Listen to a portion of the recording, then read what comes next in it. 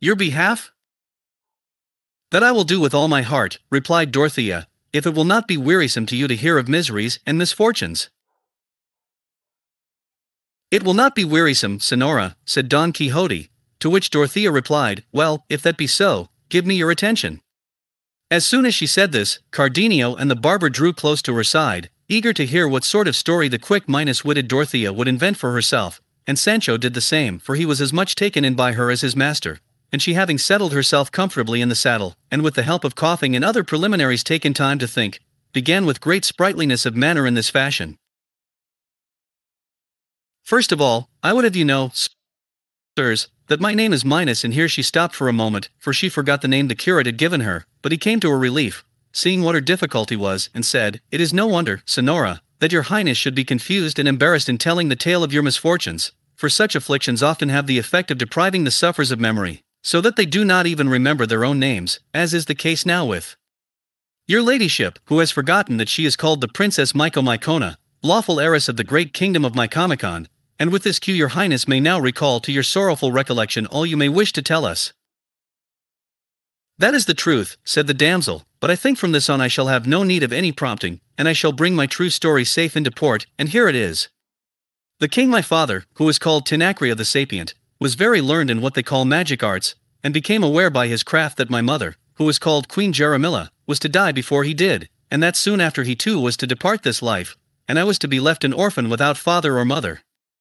But all this, he declared, did not so much grieve or distress him as his certain knowledge that a prodigious giant, the lord of a great island close to our kingdom, Pandafilando of the skull by name minus for it is averred that, though his eyes are properly placed and straight, he always looks askew, as if he squinted, and this he does out of malignity, to strike fear and terror into those he looks at minus that he knew I say, that this giant,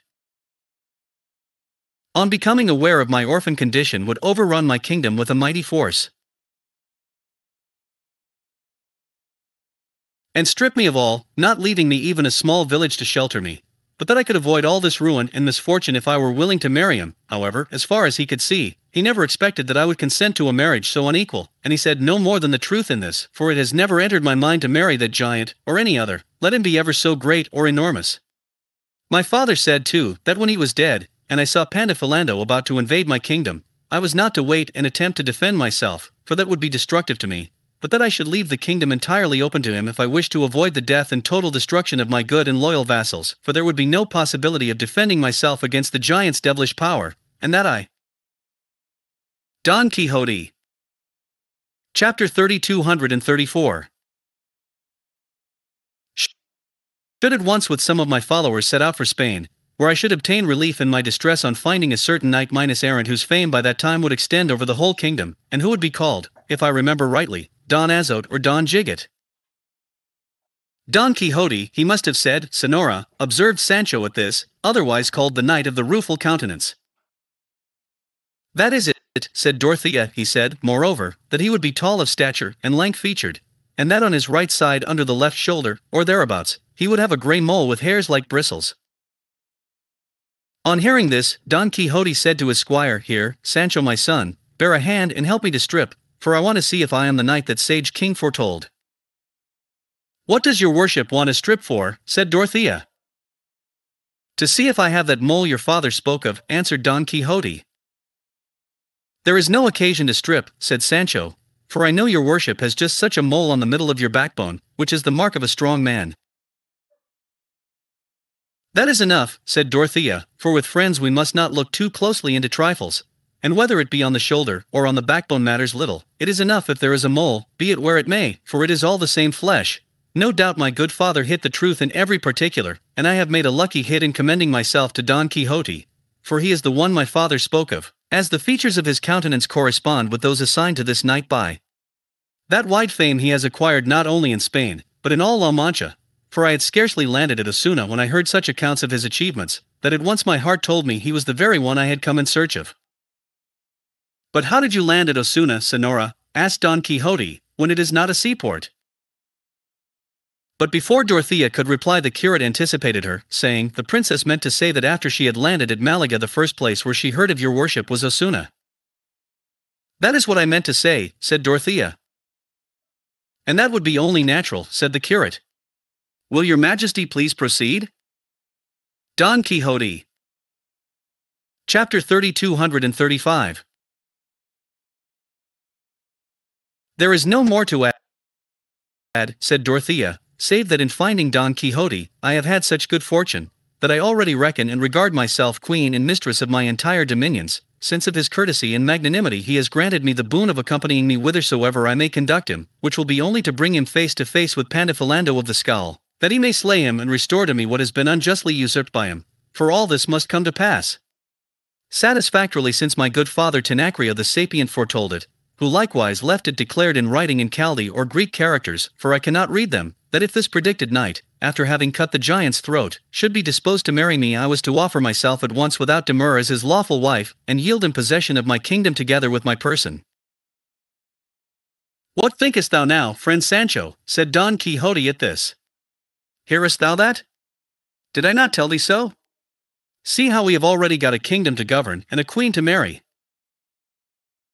On my oath it is so, said Sancho, and fall fortune to him who won't marry after slitting Senor Pandahilado's windpipe. And then, how ill-favoured the queen is. I wish the fleas in my bed were that sort. And so saying he cut a couple of capers in the air with every sign of extreme satisfaction, and then ran to seize the bridle of Dorothea's mule, and checking it fell on his knees before her, begging her to give him her hand to kiss in token of his acknowledgement of her as his queen and mistress. Which of the bystanders could have helped laughing to see the madness of the master and the simplicity of the servant? Dorothea therefore gave her hand, and promised to make him a great lord in her kingdom, when heaven should be so good as to permit her to recover and enjoy it, for which Sancho returned thanks in words that set them all laughing again. This, sirs, continued Dorothea, is my story. It only remains to tell you that of all the attendants I took with me from my kingdom, I have none left except this well minus bearded squire, for all were drowned in a great tempest we encountered when in sight of port, and he and I came to land on a couple of planks as if by a miracle, and indeed the whole course of my life is a miracle and a mystery as you may have observed, and if I have been over minute in any respect or not as precise as I ought, let it be accounted for by what the licentiate said at the beginning of my tale, that constant and excessive troubles deprive the sufferers of their memory. They shall not deprive me of mine.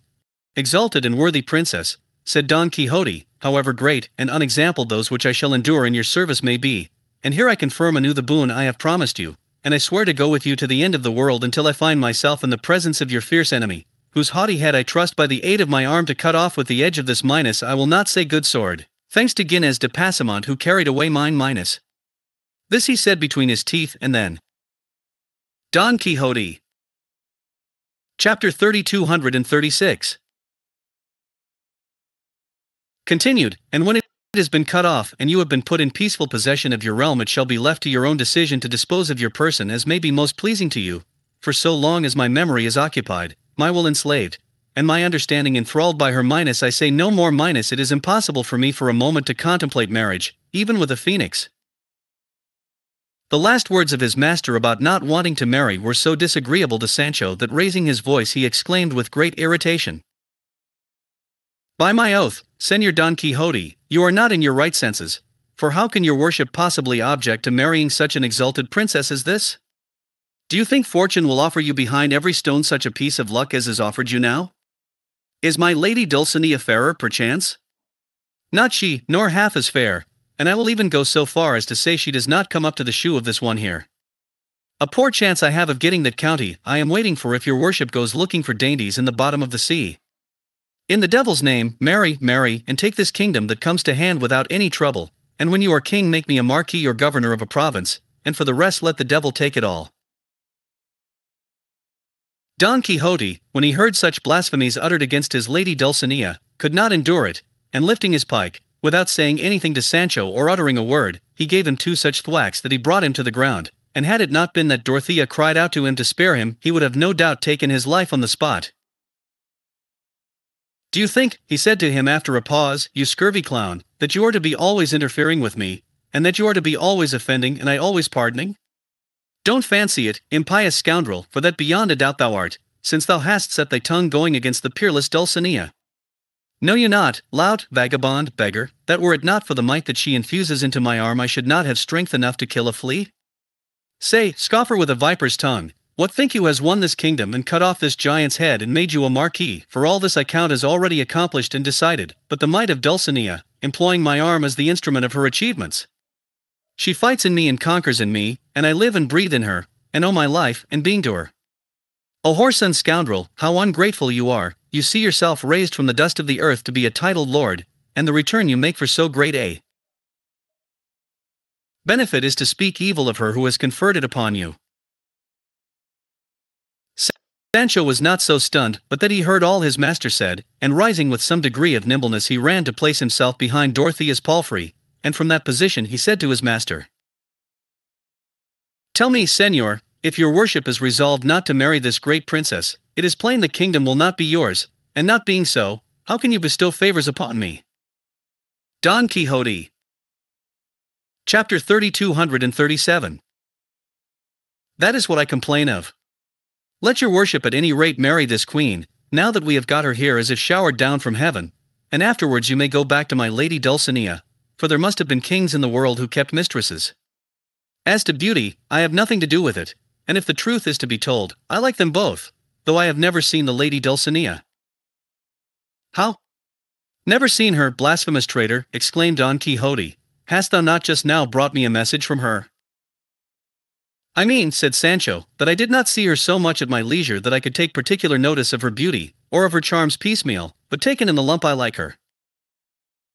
Now I forgive thee, said Don Quixote, and do thou forgive me the injury I have done thee, for our first impulses are not in our control. That I see, replied Sancho, and with me the wish to speak is always the first impulse, and I cannot help saying, once at any rate, what I have on the tip of my tongue. For all that, Sancho, said Don Quixote, take heed of what thou sayest, for the pitcher goes so often to the well minus I need say no more to thee. Well, well, said Sancho, God is in heaven and sees all tricks, and will judge who does most harm, I am not speaking right, or your worship in not doing it. That is enough, said Dorothea, run, Sancho, and kiss your lord's hand and beg his pardon, and henceforward be more circumspect with your praise and abuse, and say nothing in disparagement of that lady Toboso, of whom I know nothing save that I am her servant, and put your trust in God, for you will not fail to obtain some dignity so as to live like a prince. Sancho advanced hanging his head and begged his master's hand, which Don Quixote with dignity presented to him, giving him his blessing as soon as he had kissed it. He then bade him go on ahead a little, as he had questions to ask him and matters of great importance to discuss with him. Sancho obeyed, and when the two had gone some distance in advance, Don Quixote said to him, since thy return, I have had no opportunity or time to ask thee many particulars touching thy mission, and the answer thou hast brought back. And now that chance has granted us the time and opportunity, deny me not the happiness thou canst give me by such good news. Let your worship ask what you will, answered Sancho, for I shall find a way out of all as, as I found a way in. But I implore you, senor, not not to be so revengeful in future. Why dost thou say that, Sancho? said Don Quixote.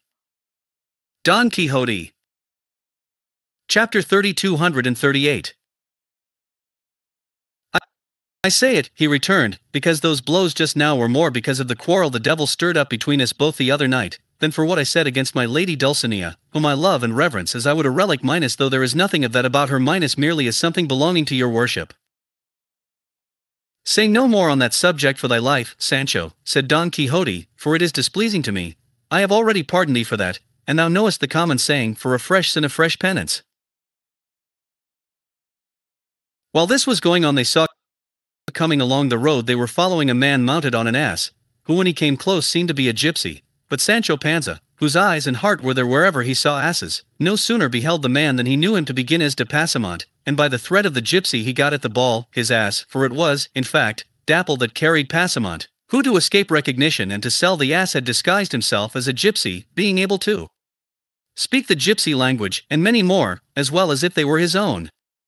Sancho saw him and recognized him, and the instant he did so he shouted to him, Ginesillo, you thief! Give up my treasure, release my life, embarrass thyself not with my repose, quit my ass, leave my delight, be off, rip, get thee gone, thief, and give up what is not thine.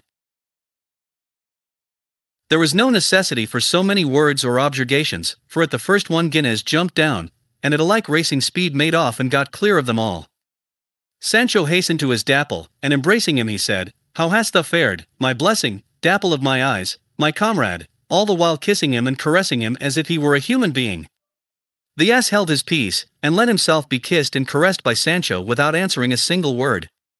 They all came up and congratulated him on having found Dapple, Don Quixote especially, who told him that notwithstanding this he would not cancel the order for the 3s minus colts, for which Sancho thanked him. While the two had been going along conversing in this fashion, the curate observed to Dorothea that she had shown great cleverness, as well in the story itself as in its conciseness, and the resemblance it bore to those of the books of chivalry. She said that she had many times amused herself reading them, but that she did not know the situation of the provinces or seaports, and so she had said at haphazard that she had landed at Osuna. So I saw, said the curate, and for that reason I made haste to say what I did, by which it was all set right. But is it not a strange thing to see how readily this unhappy gentleman believes all these figments and lies, simply because they are in the style and manner of the absurdities of his books? So it is, said Cardenio, and so uncommon and unexampled, that were one to attempt to invent and concoct it in fiction, I doubt if there be any wit keen enough to imagine it. Don Quixote. Chapter 3239. But another strange thing about it, said the curate, is that, apart from the silly things which this worthy gentleman says in connection with his craze, when other subjects are dealt with, he can discuss them in a perfectly rational manner, showing that his mind is quite clear and composed, so that, provided his chivalry is not touched upon, no one would take him to be anything but a man of thoroughly sound understanding. While they were holding this conversation, Don Quixote continued his with Sancho, saying, Friend Panza, let us forgive and forget as to our quarrels, and tell me now, dismissing anger and irritation, where, how, and when didst thou find Dulcinea? What was she doing?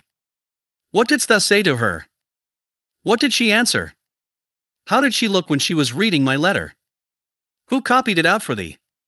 And everything in the matter that seems to thee worth knowing, asking, and learning, neither adding nor falsifying to give me pleasure, nor yet curtailing lest you should deprive me of it. Senor, replied Sancho, if the truth is to be told, nobody copied out the letter for me, for I carried no letter at all. It is as thou sayest, said Don Quixote, for the note minus book in which I wrote it I found in my own possession two days after thy departure, which gave me very great vexation, as I knew not what thou wouldst do on finding thyself without any letter, and I made sure thou wouldst return from the place where thou didst first miss it. So I should have done, said Sancho, if I had not got it by heart when your worship read it to me, so that I repeated it to a sacristan, who copied it out for me from hearing it, so exactly that he said in all the days of his life, though he had read many a letter of excommunication, he had never seen or read so pretty a letter as that. And hast thou got it still in thy memory, Sancho? said Don Quixote. No, senor, replied Sancho, for as soon as I had repeated it, seeing there was no further use for it, I set about forgetting it, and if I recollect any of it, it is that about scrubbing, I mean to say sovereign lady, and the end yours till death, the knight of the rueful countenance, and between these two I put into it more than three hundred my souls and my life's and my eyes. Don Quixote. Chapter 3240. Chapter 31.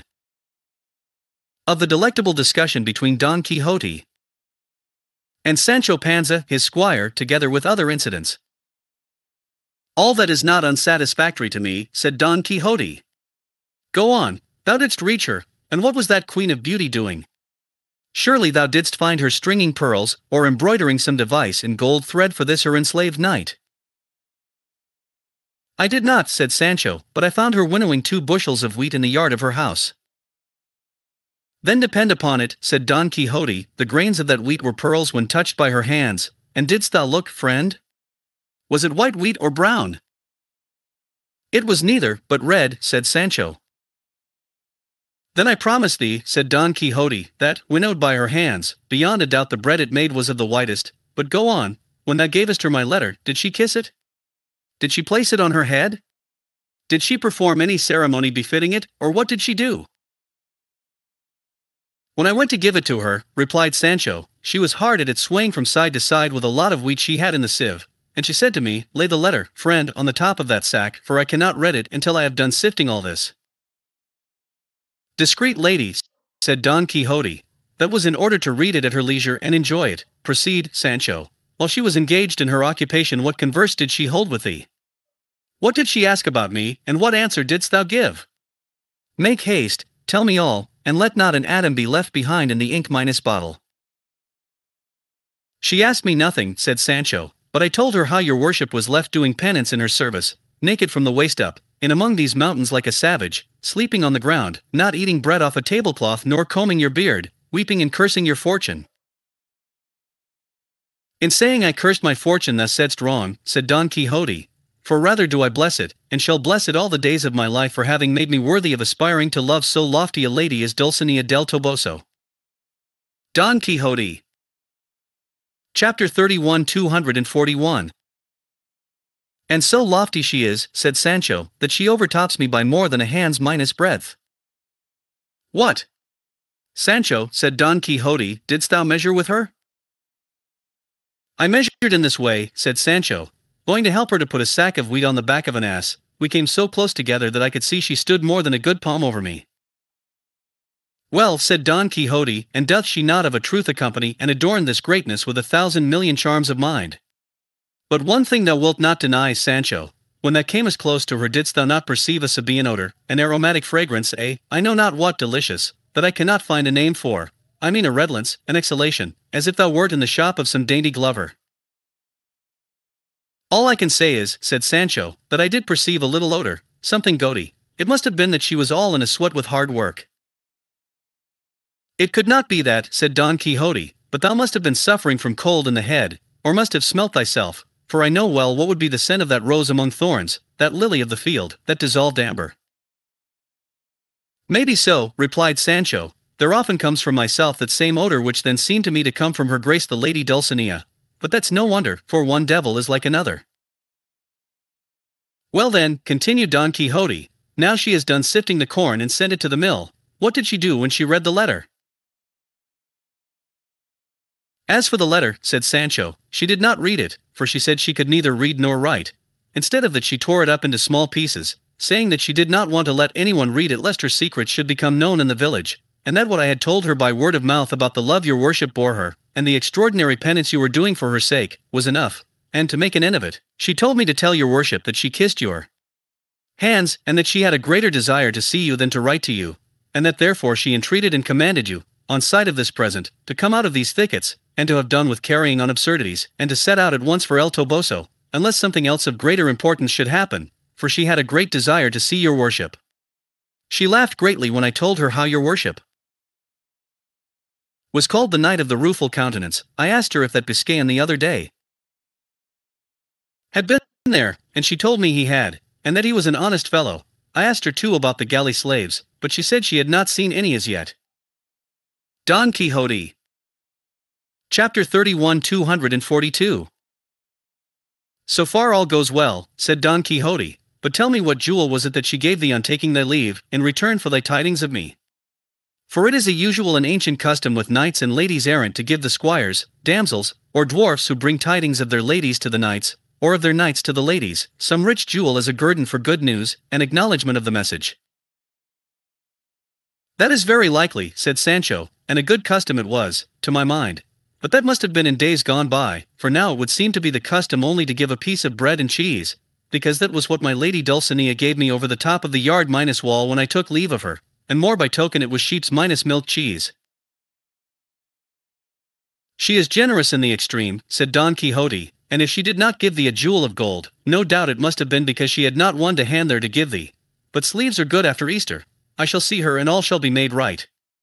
But knowest thou what amazes me, Sancho? It seems to me thou must have gone and come through the air, for thou hast taken but little more than three days to go to El Toboso and return, though it is more than thirty leagues from here to there.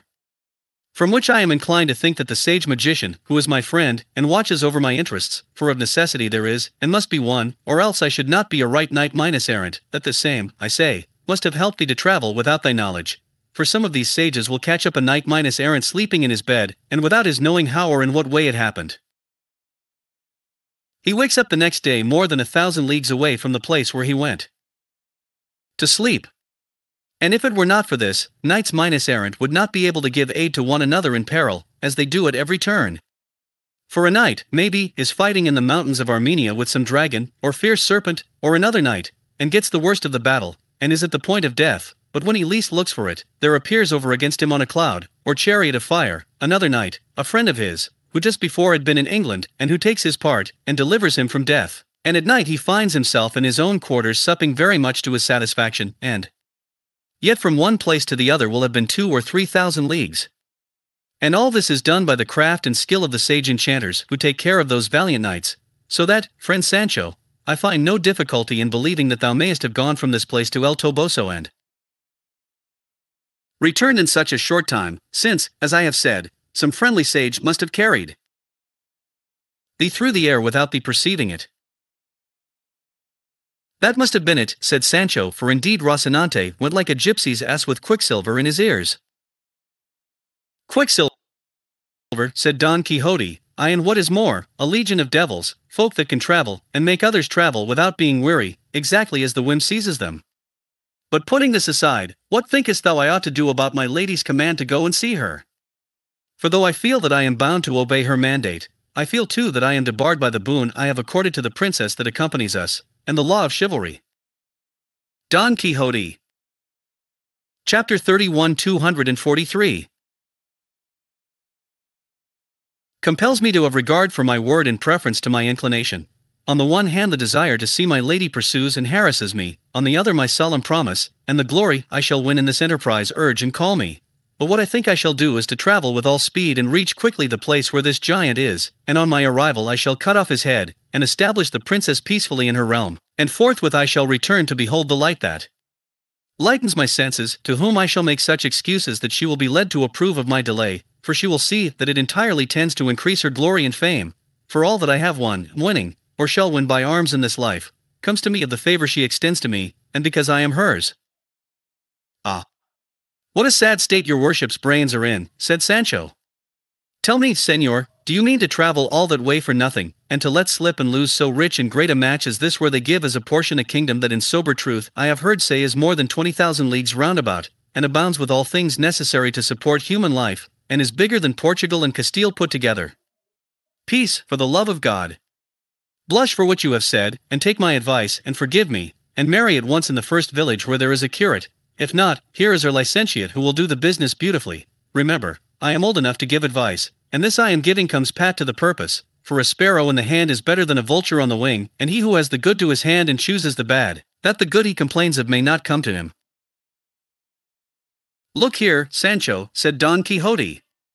If thou art advising me to marry, in order that immediately on slaying the giant I may become king, and be able to confer favors on thee, and give thee what I have promised, let me tell thee I shall be able very easily to satisfy thy desires without marrying, for before going into battle I will make it a stipulation that, if I come out of it victorious, even I do not marry, they shall give me a portion portion of the kingdom, that I may bestow it upon whomsoever I choose, and when they give it to me upon whom wouldst thou have me bestow it but upon thee? That is plain speaking, said Sancho, but let your worship take care to choose it on the seacoast, so that if I don't like the life, I may be able to ship off my black vassals and deal with them as I have said. Don't mind going to see my lady Dulcinea now, but go and kill this giant, and let us finish off this business. For by God it strikes me it will be one of great honor and great profit. I hold thou art in the right of it, Sancho, said Don Quixote, and I will take thy advice as to accompanying the princess before going to see Dulcinea, but I counsel thee not to say anything to any one, or to those who are with us, about what we have considered and discussed, for as Dulcinea is so decorous that she does not wish her thoughts to be known, it is not right that I or anyone for me should disclose them. Well then, if that be so, said Sancho, how is it that your worship makes all those you overcome by your arm go to present themselves before my lady Dulcinea, this being the Don Quixote? Chapter 31 244 Same thing as signing your name to it that you love her and are her lover? And as those who go must perforce kneel before her, and say they come from your worship to submit themselves to her, how can the thoughts of both of you be hid? Oh, how silly and simple thou art, said Don Quixote. Sayest thou not, Sancho, that this tends to her greater exaltation? For thou must know that according to our way of thinking in chivalry, it is a high honor to a lady to have many knights minus errant in her service, whose thoughts never go beyond serving her for her own sake, and who look for no other reward for their great and true devotion than that she should be willing to accept them as her knights. It is with that kind of love, said Sancho, I have heard preachers say we ought to love our Lord, for himself alone, without being moved by the hope of glory or the fear of punishment, though for my part, I would rather love and serve him for what he could do. The devil take thee for a clown, said Don Quixote, and what shrewd things thou sayest at times. One would think thou hadst studied. In faith, then, I cannot even read. Master Nicholas here called out to them to wait a while, as they wanted to halt and drink at a little spring there was there. Don Quixote drew up, not a little to the satisfaction of Sancho, for he was by this time weary of telling so many lies, and in dread of his master catching him tripping, for though he knew that Dulcinea was a peasant girl of El Toboso, he had never seen her in all his life. Cardenio had now put on the clothes which Dorothea was wearing when they found her, and though they were not very good, they were far better than those he put off. They dismounted together by the side of the spring, and with what the curate had provided himself with at the inn they appeased, though not very well, the keen appetite they all of them brought with them. They were so employed, there happened to come by a youth passing on his way, who, stopping to examine the party at the spring, the next moment ran to Don Quixote and clasping him round the legs, began to weep freely, saying, oh, O Senor, do you not know me? Look at me well, I am that lad Andres that your worship released from the oak minus tree where I was tied. Don Quixote recognized him, and taking his hand he turned to those present and said, that your worships may see how important it is to have knights minus errant to redress the wrongs and injuries done by tyrannical and wicked men in this world, I may tell you that some days ago passing through a wood, I heard cries and piteous complaints as of a person in pain and distress. I immediately hastened, impelled by my bounden duty, to the quarter whence the plaintive accents seemed to me to proceed. And I found tied to an oak this lad who now stands before you, which in my heart I rejoice at, for his testimony will not permit. Don Quixote Chapter 31 245 Me to depart from the truth in any particular. He was, I say, tied to an oak, naked from the waist up, and a clown, whom I afterwards found to be his master, was scarifying him by lashes with the reins of his mare. As soon as I saw him, I asked the reason of so cruel a flagellation. The boor replied that he was flogging him because he was his servant, and because of carelessness that proceeded rather from dishonesty than stupidity, on which this boy said, Senor, he flogs me only because I ask for my wages. The master made I know not what speeches and explanations, which, though I listened to them, I did not accept. In short, I compelled the clown to unbind him, and to swear he would take him with him, and pay him real by real, and perfumed into the bargain. Is not all this true, Andres my son? Didst thou not mark with what authority I commanded him, and with what humility he promised to do all I enjoined, specified, and required of him? Answer without hesitation, tell these. Gentlemen, what took place, that they may see that it is as great an advantage as I say to have. Knights minus errant abroad. All that your worship has said is quite true, answered the lad, but the end of the business turned out just the opposite of what your worship supposes. How? The opposite, said Don Quixote. Did not the clown pay thee then? Not only did he not pay me, replied the lad, but as soon as your worship had passed out of the wood, and we were alone, he tied me up again to the same oak and gave me a fresh flogging, that left me like a flayed Saint Bartholomew, and every stroke he gave me he followed up with some jest or jibe about having made a fool of your worship, and but for the pain I was suffering I should have laughed at the things he said. In short, he left me in such a condition that I have been until now in a hospital getting cured of the injuries which that rascally clown inflicted on me then, for all which your worship is to blame, for if you had gone your own way, and not come where there was no call for you, nor meddled in other people's affairs, my master would have been content with giving me one or two dozen lashes, and would have then loosed me and paid me what he owed me. But when your worship abused him so out of measure, and gave him so many hard words, his anger was kindled, and as he could not revenge himself on you, as soon as he saw you had left him the storm burst upon me in such a way, that I feel as if I should never be a man again. The mischief, said Don Quixote, lay in my going away, for I should not have gone until I had seen thee paid, because I ought to have known well by long experience that there is no clown who will keep his word if he finds it will not suit him to keep it. But thou rememberest, Andres, that I swore if he did not pay thee I would go and seek him, and find him though he were to hide himself in the whale's belly. That is true, said Andres, but it was of no use. Thou shalt see now whether it is of use or not, said Don Quixote, and so saying, he got up hastily and bade Sancho bridle Rocinante, who was browsing while they were eating. Don Quixote. Chapter 31 246. Dorothea asked him what he meant to do. He replied that he meant to go in search of this clown and chastise him for such iniquitous conduct, and see Andres paid to the last maravedi, despite and in the teeth of all the clowns in the world. To which she replied that he must remember that in accordance with his promise he could not engage in any enterprise until he had concluded hers, and that as he knew this better than anyone, he should restrain his ardor until his return from her kingdom. That is true, said Don Quixote, and Andres must have patience until my return as you say, Señora, but I once more swear and promise not to stop until I have seen him avenged and paid. I have no faith in those oaths, said Andres. I would rather have now something to help me to get to Seville than all the revenges in the world. If you have here anything to eat that I can take with me, give it me, and God be with your worship and all knights minus errant, and may their errands turn out as well for themselves as they have for me. Sancho took out from his store a piece of bread and another of cheese, and giving them to the lad, he said, Here, take this, brother Andres, for we have all of us a share in your misfortune. Why, what share have you got? This share of bread and cheese I am giving you, answered Sancho, and God knows whether I shall feel the want of it myself or not, for I would have you know, friend, that we squires to knights minus errant have to bear a great deal of hunger and hard fortune, and even other things more easily felt than told. Andres seized his bread and cheese, and seeing that nobody gave him anything more, bent his head, and took hold of the road, as the saying is. However, before leaving, he said, For the love of God, Sir Knight minus errant, if you ever meet me again, Though you may see them cutting me to pieces, give me no aid or succor, but leave me to my misfortune, which will not be so great, but that a greater will come to me by being helped by your worship, on whom and all the knights minus errant that have ever been born God send his curse. Don Quixote was getting up to chastise him, but he took to his heels at such a pace that no one attempted to follow him, and mightily chapfallen was Don Quixote at Andre's story, and the others had to take great care to restrain their laughter so as not to put him entirely out of countenance. Don Quixote.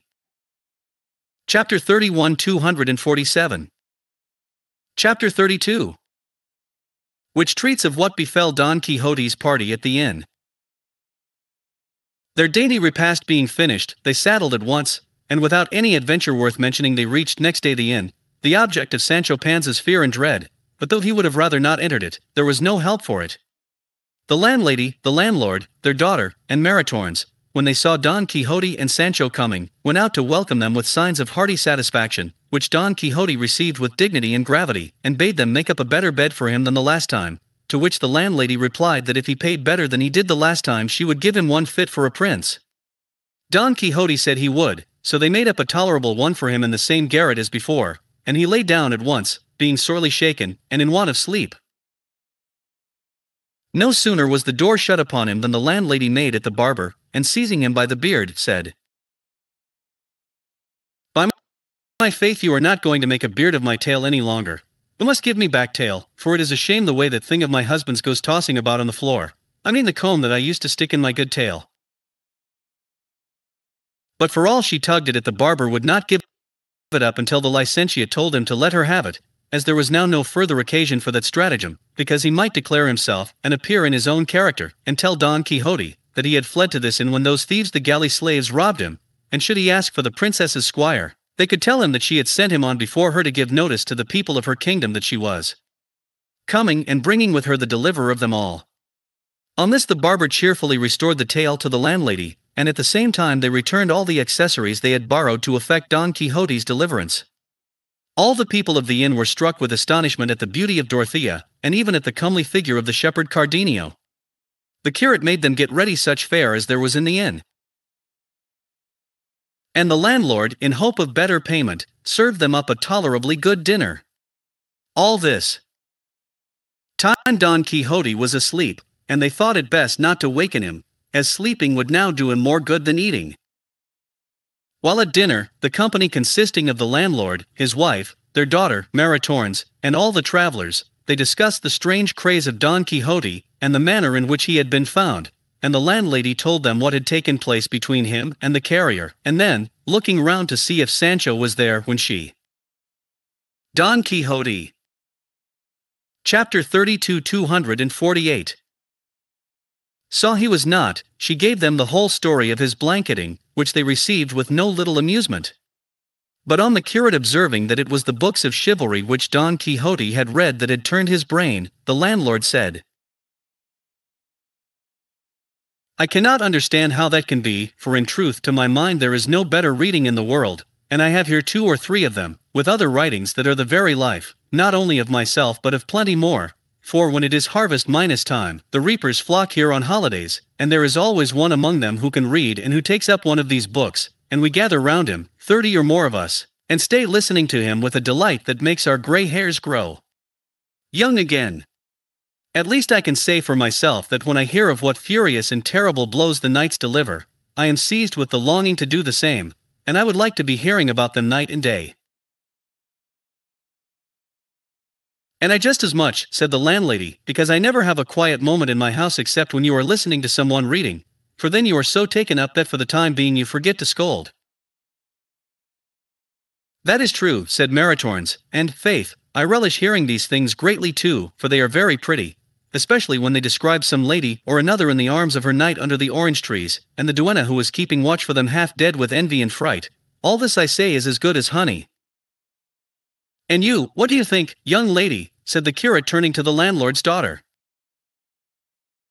I don't know indeed, senor, said she. I listen too, and to tell the truth, though I do not understand it, I like hearing it, but it is not the blows that my father likes that I like, but the laments the knights utter when they are separated from their ladies, and indeed they sometimes make me weep with the pity I feel for them. Then you would console them if it was for you they wept, young lady, said Dorothea. I don't know what I should do, said the girl, I only know that there are some of those ladies so cruel that they call their knights tigers and lions and a thousand other foul names, and Jesus. I don't know what sort of folk they can be, so unfeeling and heartless, that rather than bestow a glance upon a worthy man they leave him to die or go mad. I don't know what is the good of such prudery, if it is for honor's sake, why not marry them? That's all they want. Hush, child, said the landlady, it seems to me thou knowest a great deal about these things, and it is not fit for girls to know or talk so much. Don Quixote. Chapter 32 249. As the gentleman asked me, I could not help answering him, said the girl. Well then, said the curate, bring me these books, senor landlord, for I should like to see them. With all my heart, said he, and going into his own room, he brought out an old valise secured with a little chain, on opening which the curate found in it three large books and some manuscripts written in a very good hand. The first that he opened he found to be Don Cirongilio of Thrace, and the second Don Felixmart of Hircania, and the other the history of the great Captain Gonzalo Hernandez de Cordova, with the life of Diego Garcia de Paredes. When the curate read the two first titles, he looked over at the barber and said, We want my friend's housekeeper and niece here now. Nay, said the barber, I can do just as well to carry them to the yard or to the hearth, and there is a very good fire there. What? Your worship would burn my books, said the landlord. Only these two, said the curate, Don Cirongilio and Felixmart. Are my books, then, heretics or phlegmates that you want to burn them? said the landlord. Schismatics you mean, friend, said the barber, not phlegmatics. That's it, said the landlord, but if you want to burn any, let it be that about the great captain, and that Diego Garcia, for I would rather have a child of mine burnt than either of the others.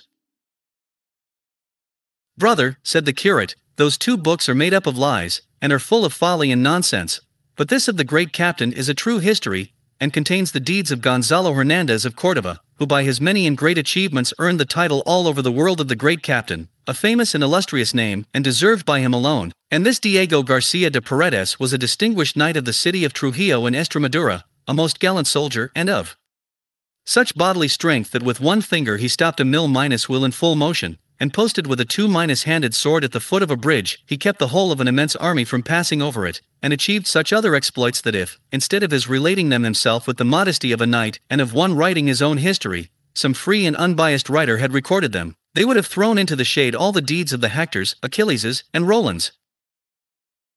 Don Quixote Chapter 32 250 Tell that to my father, said the landlord. There's a thing to be astonished at. Stopping a mill minus wheel. By God, your worship should read what I have read of Felixmart of Hircania, how with one single backstroke he cleft five giants asunder through the middle as if they had been made of bean minus pods like the little friars the children make, and another time he attacked a very great and powerful army, in which there were more than a million six hundred thousand soldiers, all armed from head to foot, and he routed them all as if they had been flocks of sheep. And then, what do you say to the good Cirongilio of Thrace, that was so stout and bold, as may be seen in the book, where it is related that as he was sailing along a river there came up out of the midst of the water against him a fiery serpent, and he, as soon as he saw it, flung himself upon it, and got astride of its scaly shoulders, and squeezed its throat with both hands with such force that the serpent, finding he was throttling it, had nothing for it but to let itself sink to the bottom of the river, carrying with it the knight who would not let go his hold, and when they got down there he found himself among palaces and gardens so pretty that it was a wonder to see. And then the serpent changed itself into an old ancient man, who told him such things as were never heard. Hold your peace, senor, for if you were to hear this you would go mad with delight. A couple of figs for your great captain and your Diego Garcia. Hearing this, Dorothea said in a whisper to Cardenio, Our landlord is almost fit to play a second part to Don Quixote. I think so, said Cardenio, for, as he shows, he accepts it as a certainty that everything those books relate took place exactly as it is written down, and the barefooted friars themselves would not persuade him to the contrary.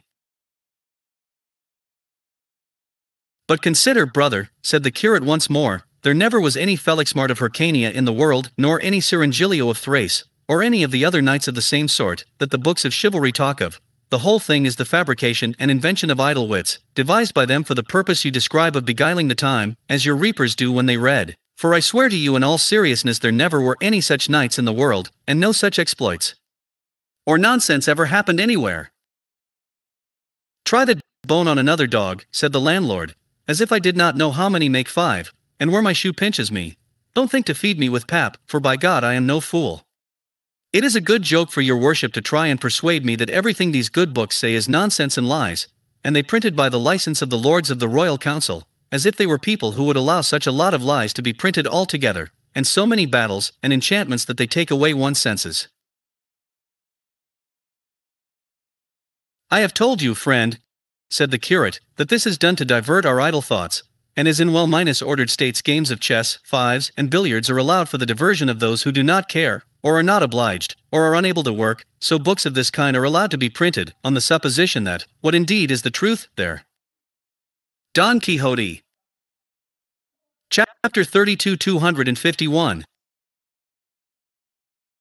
Can be nobody so ignorant as to take any of them for true stories, and if it were permitted me now, and the present company desired it, I could say something about the qualities books of chivalry should possess to be good ones, that would be to the advantage and even to the taste of some, but I hope the time will come when I can communicate my ideas to someone who may be able to mend matters, and in the meantime, senor landlord, believe what I have said, and take your books, and make up your mind about their truth or falsehood, and much good may they do you, and God grant you may not fall lame of the same foot your guest Don Quixote halts on.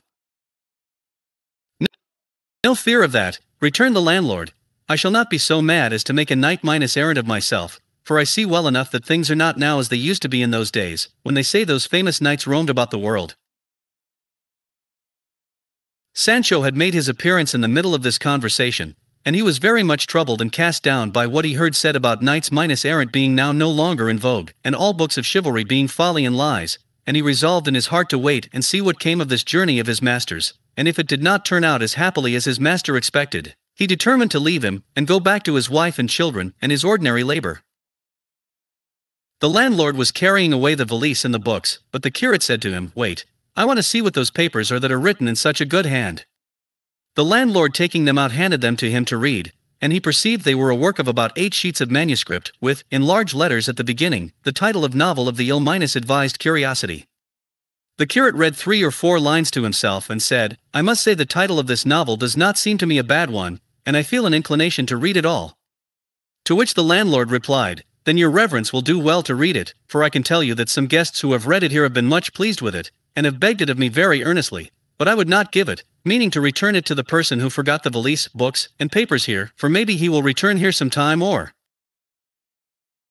other, and though I know I shall miss the books, faith I mean to return them, for though I am an innkeeper, still I am a Christian.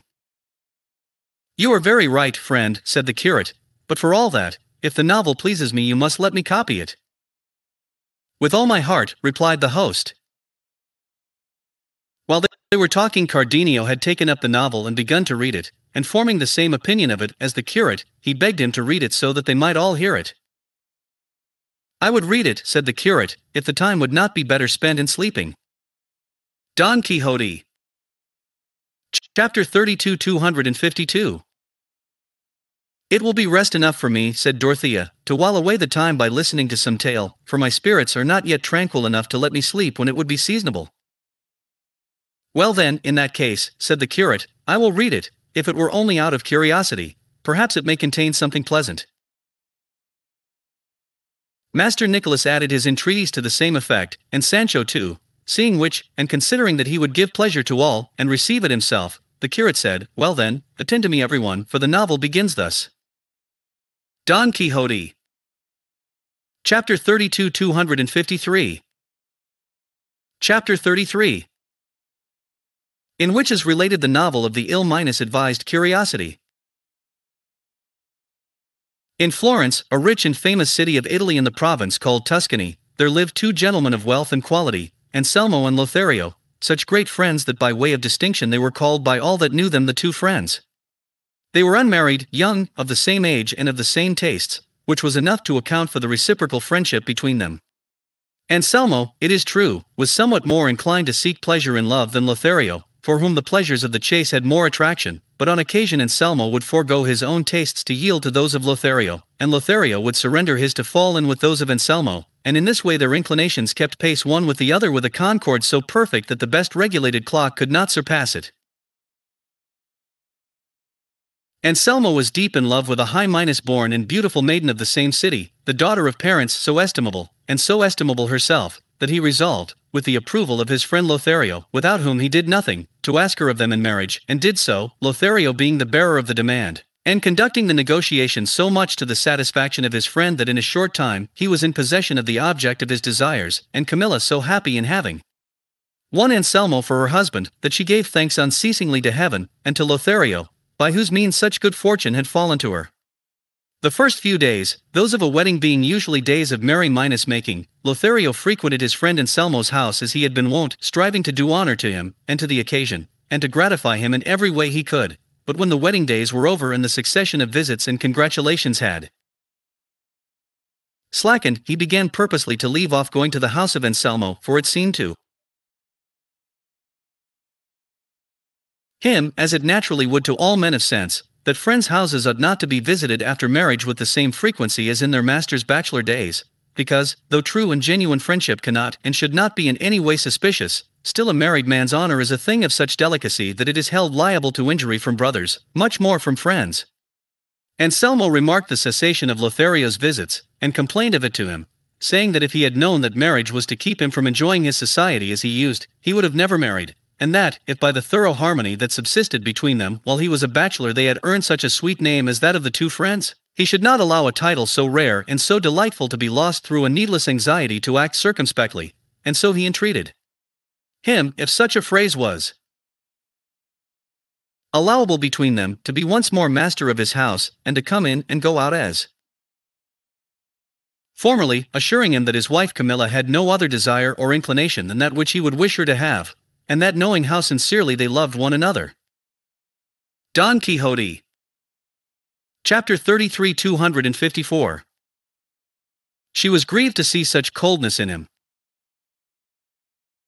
To all this and much more that Anselmo said to Lothario to persuade him to come to his house as he had been in the habit of doing, Lothario replied with so much prudence, sense, and judgment, that Anselmo was satisfied of his friend's good intentions, and it was agreed that on two days in the week, and on holidays, Lothario should come to dine with him. But though this arrangement was made between them, Lothario resolved to observe it no further than he considered to be in accordance with the honor of his friend, whose good name was more to him than his own.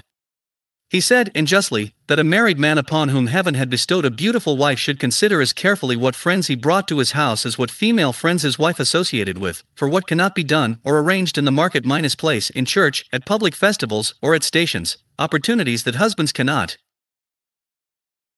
always deny their wives, may be easily managed in the house of the female friend or relative in whom most confidence is reposed.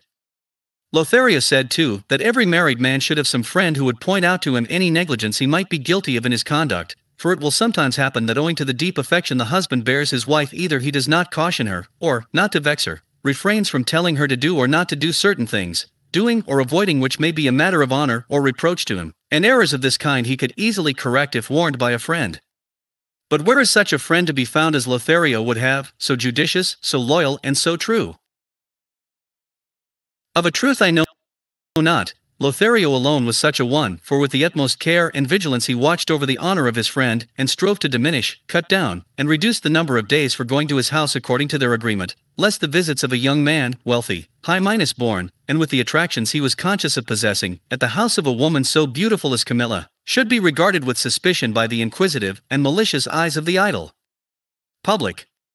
For though his integrity and reputation might bridle slanderous tongues, Still, he was unwilling to hazard either his own good name or that of his friend, and for this reason most of the days agreed upon he devoted to some other business which he pretended was unavoidable, so that a great portion of the day was taken up with complaints on one side and excuses on the other. It happened, however, that on one occasion when the two were strolling together outside the city, Anselmo addressed the following words to Lothario Thou mayest suppose, Lothario, my friend, that I am unable to give sufficient thanks for the favors God has rendered me in making me the son of such parents as mine were, and bestowing upon me with no niggard hand what are called the gifts of nature as well as those of fortune, and above all for what he has done in giving me thee for a friend and Camilla for a wife minus two treasures that I value, if not as highly as I ought, at least as highly as I am able. And yet, with all these good things, which are commonly all that men need to enable them to live happily, I am the most discontented and dissatisfied man in the whole world, for, I know not how long since, I have been harassed and oppressed by a desire so strange and so unusual, that I wonder at myself and blame and chide myself when I am. Don Quixote. Chapter 33 255 Alone, and strive to stifle it and hide it from my own thoughts, and with no better success than if I were endeavoring deliberately to publish it to all the world, and as, in short, it must come out, I would confide it to thy safe keeping, feeling sure that by this means, and by thy readiness as a true friend to afford me relief, I shall soon find myself freed from the distress it causes me, and that thy care will give me happiness in the same degree as my own folly has caused me misery. The words of Anselmo struck Lothario with astonishment, unable as he was to conjecture the purport of such a lengthy preamble, and though he strove to imagine what desire it could be that so troubled his friend, his conjectures were all far from the truth and to relieve the anxiety which this perplexity was causing him, he told him he was doing a flagrant injustice to their great friendship in seeking circuitous methods of confiding to him his most hidden thoughts, for be well knew he might reckon upon his counsel in diverting them, or his help in carrying them into effect. That, that is the tr- truth, replied Anselmo, and relying upon that I will tell thee, friend Lothario, that the desire which harasses me is that of knowing whether my wife Camilla is as good and as perfect as I think her to be, and I cannot satisfy myself of the truth on this point except by testing her in such a way that the trial may prove the purity of her virtue as the fire proves that of gold, because I am persuaded, my friend, that a woman is virtuous only in proportion as she is or is not tempted, and that she alone is strong who does not yield to the promises, gifts, tears, and importunities of earnest lovers. For what thanks does a woman deserve for being good if no one urges her to be bad, and what wonder is it that she is reserved and circumspect to whom no opportunity is given of going wrong, and who knows she has a husband that will take her life the first time he detects her in an impropriety? I do not therefore hold her who is virtuous through fear or want of opportunity. In the same estimation as her who comes out of temptation and trial with a crown of victory, and so, for these reasons and many others that I could give thee to justify and support the opinion I hold, I am desirous that my wife Camilla should pass this crisis, and be refined and tested by the fire of finding herself wooed, and by one worthy to set his affections upon her. And if she comes out, as I know she will, victorious from this struggle, I shall look upon my good fortune as unequaled. I shall be able to say that the cup of my desire is full, and that the virtuous woman of whom the sage says who shall find her, has fallen to my lot. And if the result be the contrary of what I expect, in the satisfaction of knowing that I have been right in my opinion, I shall bear without complaint the pain which my so dearly bought experience will naturally cause me. And as nothing of all thou wilt urge in opposition to my wish will avail to keep me from carrying it into effect, it is my desire, friend Lothario, that Thou shouldst consent to become the instrument for effecting this purpose that I am bent upon, for I will afford the opportunities to that end, and nothing shall be wanting that I may think necessary for the pursuit of a virtuous, honorable, modest, and high minded woman. And among other reasons, I am induced to entrust this arduous task to thee by the consideration that if Camilla be conquered by thee, the conquest will not be pushed to extremes, but only far enough to account that accomplished which from a sense of honor. Don Quixote